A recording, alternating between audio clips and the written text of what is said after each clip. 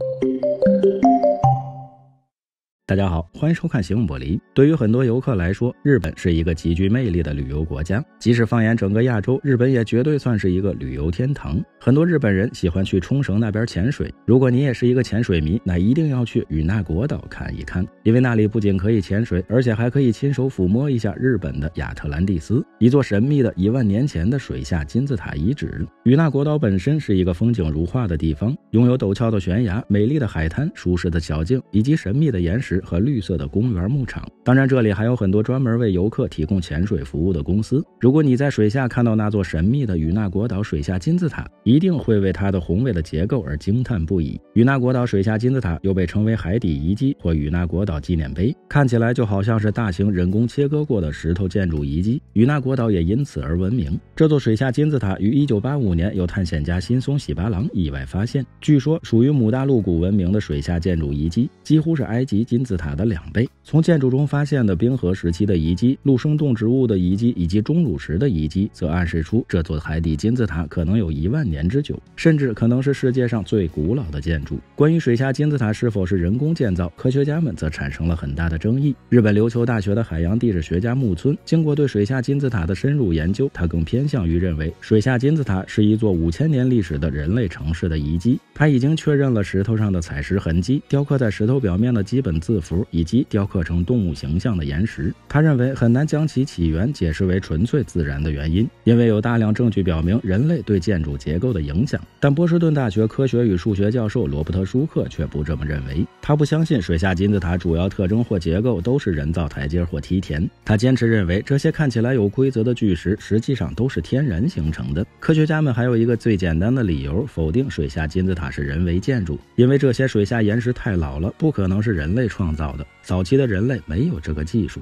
当然，在争论不休的自然谜团面前，关于外星人的传说再一次浮现出来。与那国岛所在的海域被称为东方的百慕大三角，这是一片极具危险和超自然活动的区域。木村教授并不相信外星人传说，他认为这是在最后一个冰河时代结束时存在的石头结构。当时海平面比今天要低几十米。由于最大的城市总是建在海岸上，所以可能人类的文明比我们想象的要更早得多。尽管科学家们关于水下金金字塔起源的争论一直在激烈进行，但日本文化事务局和冲绳县政府对此似乎并没有什么兴趣。水下金字塔既没有被列为重要的文物，政府机构也没有研究或保存，而是将这些争论和努力留给了科学家和那些感兴趣的人。那作为游客来说，当然可以自由自在地前来感受这座水下二十五米的建筑奇迹，即使不会潜水，也可以乘坐半潜水观光船来欣赏这座神秘的一万年前陆地上最古老的城市建筑。与那国岛是日本最西端。的岛屿距离台湾宜兰仅一百一十公里。如果你看过由日本漫画《孤岛诊疗所》改编成的电视剧《小孤岛大医生》，那你一定会对与那国岛上的小诊所印象深刻。据说此剧拍摄过程中造成许多的噪音和滋扰，使岛民相当不满。后来摄制组决定先在岛上播放此剧的第一集。播放完后，岛民对此剧相当欣赏，也转变了态度，对拍摄表示支持。在最后一集中，有近百名岛民在此剧中客串演出。其实这部电视剧的主题曲中岛美雪演唱。的骑在银龙背上，你也一定不会陌生，是不是很有意思呢？来次旅行长一点姿势，有什么问题请留言，欢迎转发点个赞。最后别忘了下期内容更精彩，我们形影不离。